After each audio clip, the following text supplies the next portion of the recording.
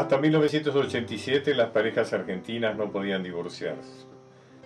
Juan Domingo Perón había sancionado previamente una ley del divorcio, pero el golpe cívico-militar de 1955 anuló dicha ley.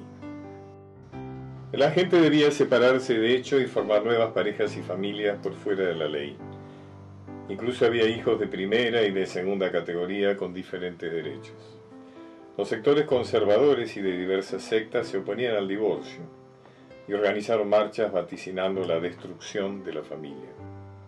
Algunos colegios sacaron a sus alumnos a la calle para reclamar a los legisladores que frenaran esta supuesta aberración. Pero triunfó la igualdad. Durante el gobierno de Raúl Alfonsín, primero la justicia declaró inconstitucional impedir el divorcio y después los legisladores ratificaron el derecho de todas las familias a ser libres e iguales.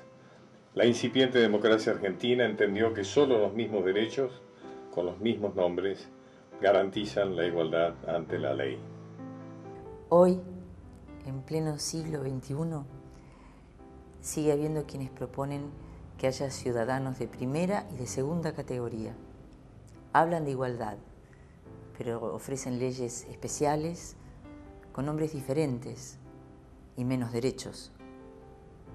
¿Te parece justo?